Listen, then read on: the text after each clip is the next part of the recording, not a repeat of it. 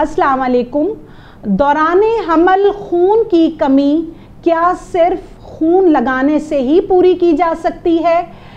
इसमें मैं आपको बताती चलूँ कि एक हेल्दी खातून को कि दौरान प्रेगनेंसी एच बी बारह से पंद्रह ग्राम होना ज़रूरी है।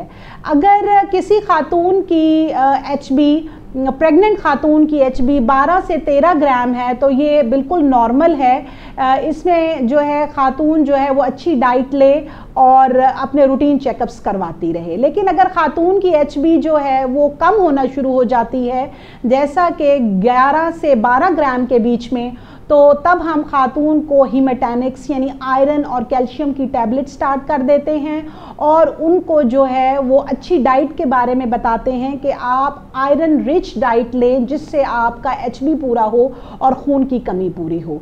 अब इसमें जो है, वो कलेजी, कीमा, गोश्त दालें ताज़ा फल सब्ज़ियाँ जैसा कि पालक, मेथी, साग वगैरह खुश्क मेवा जात वगैरह, खजूर, किशमिश शकरकंदी ये सब चीज़ें ऐसी हैं जो आपके सुर्ख लोबिया मतलब ये तमाम चीज़ें डाइट में ऐसी हैं जो आपके एच को इम्प्रूव करती हैं और खून की कमी को पूरा करती हैं। तो अगर किसी हामला खातून की एच बी ग्यारह से बारह ग्राम के बीच में है तो वो ये तमाम चीज़ें अपनी खुराक में शामिल करे और अपनी गायनाकोलॉजिस्ट के मशवरे से आयरन और कैल्शियम की टैबलेट भी शुरू करे। अगर एच मज़ीद गिर जाती है, जैसा कि 9 से 10 ग्राम, तब हम प्रेग्नेंट खातन को एडवाइस करते हैं कि अब आप वीनोफर की आईवी इन्फ्यूजन्स लें और हफ़्ते बाद, यानी वीकली जो है, वो 10 100 एम एल नॉर्मल सेलाइन में दो इंजेक्शन वीनोफर के डाल के स्लो आईवी दिए जाते हैं।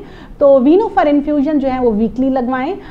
तो उससे आपकी एच बी इम्प्रूव हो जाएगी, लेकिन इसके साथ आप ओरल हेमेटेनिक्स यानी आयरन कैल्शियम की गोली भी मुँह से खाएँ और अपनी डाइट को भी इंप्रूव करें। अगर एच इससे कम हो जाती है, यानी आठ से नीचे छः सात, आठ तो ये जो है फिर एमरजेंसी है। इसके अंदर आपको ब्लड ट्रांसफ्यूजन की ज़रूरत है। अब खून लगाने के लिए कुछ एहतियात बहुत ज़रूरी है, क्योंकि बाज़ दफ़ा ताज़ा खून लगाने से पेशेंट को जो है वो ब्लड रिएक्शंस हो सकते हैं और कुछ ब्लड से ट्रांसमिट होने वाली disease hepatitis B hepatitis C और एचआईवी एड्स वगैरह जो है वो माँ को शिफ्ट हो सकती हैं। तो ब्लड ट्रांसफ्यूजन के लिए आपको डॉक्टर का मशवरा ज़रूरी है। हॉस्पिटल के अंदर डोनर भी और रेसिपिएंट भी उनका होना ज़रूरी है। प्रॉपर ब्लड बैंक के अंदर डोनर के तमाम पहले टेस्ट किए जाएँ, स्क्रीनिंग किया जाए, क्रॉस मैच किया जाए और उसके बाद जो है फ्रेश ब्लड जो है वो प्रेग्नेंट खातून को ट्रांसफ्यूज़ किया जाए। तो एचबी जब आठ से आपकी कम हो जाती है और वो बहुत अच्छी डाइट लेने के बावजूद वीनोफर की इन्फ्यूजन लगवाने के बावजूद और आयरन कैल्शियम की ओरल टैबलेट खाने के बावजूद इंप्रूव ना हो तो यहाँ आपको ब्लड ट्रांसफ्यूजन की ज़रूरत है। तो ब्लड ट्रांसफ्यूजन यहाँ ज़रूरी है। Thank you so much